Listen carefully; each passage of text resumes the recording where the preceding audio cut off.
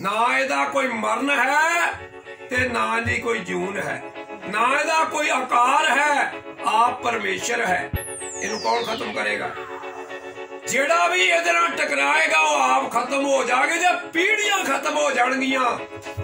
ਉਹਦੀ ਕੋਲ ਰੁਕ ਜਾਵੇਗੀ। ਉਹਦੇ ਘਰ ਦੇ ਵਿੱਚ ਹਨੇਰਾ